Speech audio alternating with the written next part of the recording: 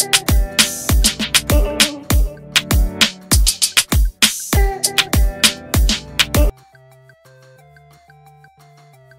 บด้วยดี หมอนงวนลินีโพสต์ขอขมา สรยุทธหลังโดนฟ้องใส่ร้ายปมโควิดจบด้วยดี หมอนงวนลินีโพสต์ขอขมา สรยุทธหลังโดนฟ้องใส่ร้ายปมรายงานข่าวโควิดกล่าวหากดดันสปสช นำยาฟาวิพิราเวียมาแจกจ่ายเอง วันที่ 30 พฤษภาคม 2566 นายสรยุทธสุทัศนจินดา ผู้ประกาศข่าวชื่อดังโพสต์เฟซบุ๊กเป็นข้อความที่แพทย์หญิงนงนลินีใจสินได้โพสต์ขอโทษกรณีกล่าวหานายสรยุทธว่า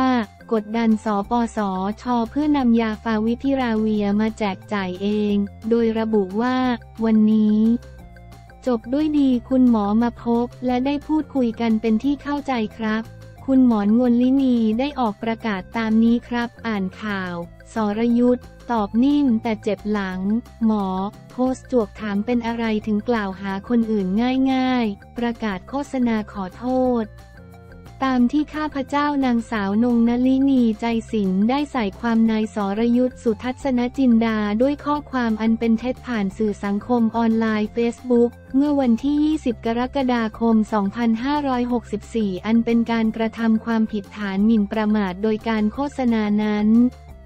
ข้าพเจ้าขอเปล่าประกาศต่อสาธารณชนให้ทราบโดยทั่วกันว่า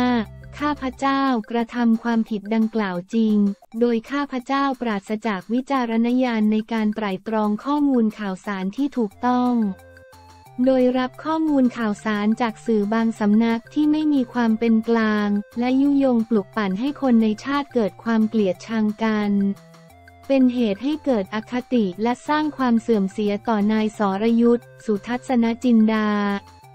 จนกระทั่งเผยแพร่ข้อความอันเป็นเท็จใส่ร้ายนายสรยุทธสุทัศนจินดาดังกล่าวข้าพเจ้าจึงขอแถลงข้อความจริงต่อสาธารณชนให้แจ้งชัดว่าหนึ่งนายสรยุทธสุทัศนจินดาไม่เคยรายงานข่าวเท็จ เฟกนิวส์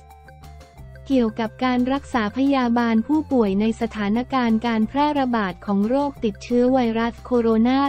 2019 ตามที่ข้าพเจ้าใส่ความให้ร้ายแต่ประการใดสองนายสรยุทธสุทัศนจินดาไม่เคยร้องขอกดดัน หรือเรียกร้องให้สำนักงานหลักประกันสุขภาพแห่งชาติ สปสช กรมการแพทย์เบิกจ่ายยาฟาวิพิราเวียให้แก่นายสรยุทธสุทัศนจินดา เพื่อที่นายสรยุทธสุทัศนจินดาจะได้นำมาแจกจ่ายให้แก่ประชาชนเอง ตามที่ข้าพเจ้าใส่ความให้ร้ายแต่ประการใดสามนายสรยุทธสุทัศนจินดาไม่เคยรายงานข่าวเกี่ยวกับสถานการณ์การแพร่ระบาดของโรคติดเชื้อไวรัสโคโรนา 2019 โดยมีจุดมุ่งหมายแอบแฝงทางการเมือง เพื่อเอื้อประโยชน์หรือสนับสนุนการเคลื่อนไหวทางการเมืองของกลุ่มบุคคลใด ๆ ตามที่ข้าพเจ้าใส่ความให้ร้ายแต่ประการใด บัดนี้ข้าพเจ้ามีความสำนึกผิดในการกระทำดังกล่าวอย่างยิ่ง ข้าพเจ้าจึงได้ขอขมาโทษและชดใช้ค่าเสียหายให้แก่นายสรยุทธสุทัศนจินดาด้วยความเต็มใจเป็นเงินจำนวนหนึ่งแสนบาท โดยนายสรยุทธสุทัศนจินดา มีความประสงค์ให้ข้าพเจ้านำค่าเสียหายดังกล่าวไปบริจาคให้กับองค์กรสาธารณกุศล เพื่อประโยชน์แก่สาธารณะ และยินดีปฏิบัติตามเงื่อนไขที่กำหนดในรายงานกระบวนพิจารณาของศาลจนแล้วเสร็จทุกประการ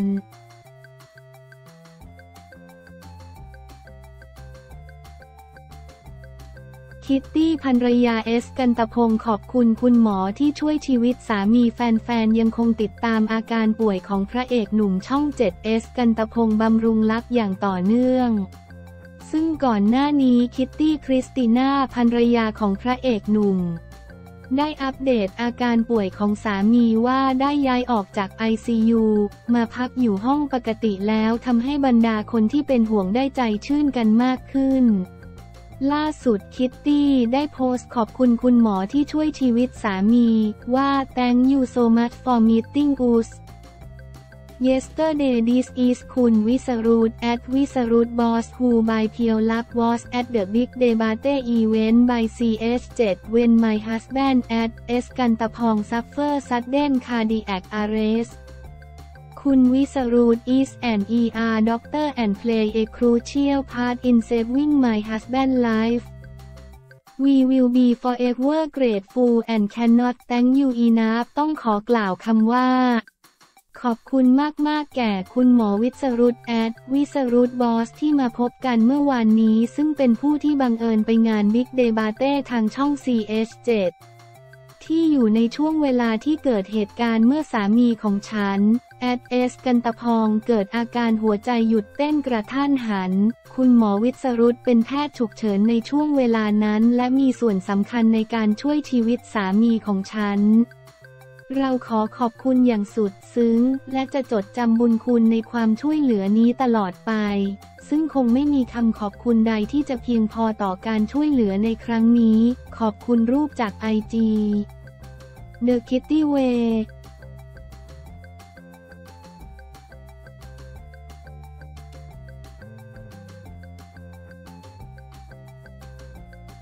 ใบเตยตัดผมสั้นแล้วช็อกรู้ข่าวแฟนน้องชายเสียชีวิต ใกล้จะได้เจอหน้าลูกนั่งภาวนาจิตสวดมนต์อุทิศให้แฟนน้องชาย ใบเตยตัดผมสั้นแล้วช็อกกลางเรือนจำรู้ข่าวแฟนน้องชายเสียชีวิตใกล้จะได้เจอหน้าลูกวันที่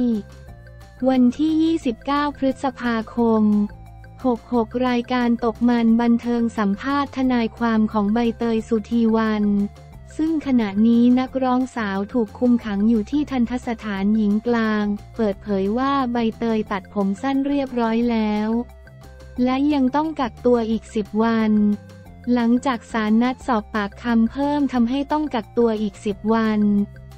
ส่วนที่ภูมิแฟนของลุคส์น้องชายใบเตยเสียชีวิตหลังอุบัติเหตุรถจักรยานยนต์ ใบเตยทราบข่าวแล้วคนข้างในเล่าให้ฟังเจ้าตัวนั่งภาวนาจิต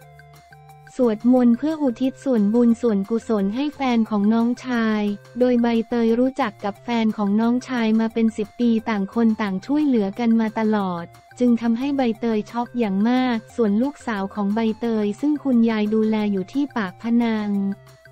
นครศรีธรรมราช จากนี้ลุกน้องชายใบเตย จะพาหลานกลับไปอยู่กรุงเทพมหานครเหมือนเดิม และอาจจะพาไปหาใบเตยที่ทันทสถานหญิงเร็วๆนี้ แม่ลูกก็จะได้เจอกันที่ทันทสถาน ด้านเรื่องคดีสารนัดตรวจพยานหลักฐานอีกครั้ง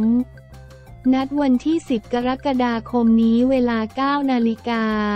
ถ้าไม่มีการเลื่อน